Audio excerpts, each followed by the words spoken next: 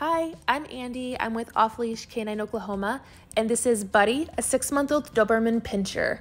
He came to stay with me for two weeks as a board and train. We wanted to work on both obedience and a couple of behaviors at home, especially because Buddy spends a lot of his time with a small child and he's very strong and extremely rowdy and rambunctious.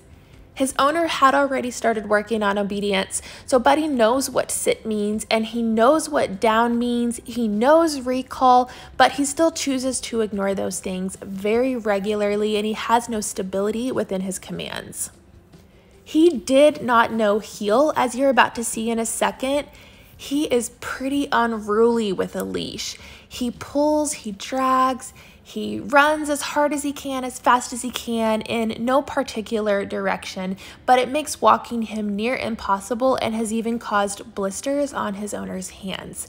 So, obviously, that was something that we definitely wanted to fix by teaching Buddy what his expectations should be whenever he's on leash or off leash and in a heel.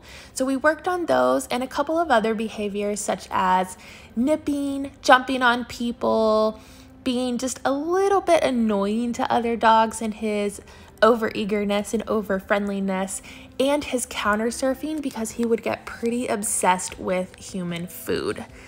So, all of the following videos show the progress that Buddy was able to make after spending two weeks with me, and I hope you enjoy his transformation.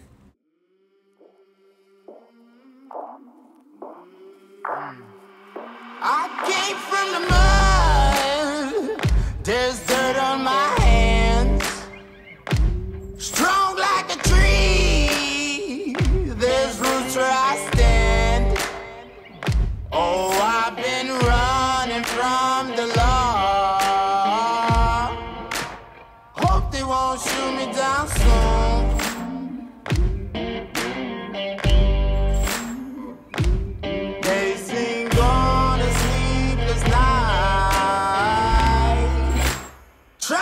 catch me howling at the moon.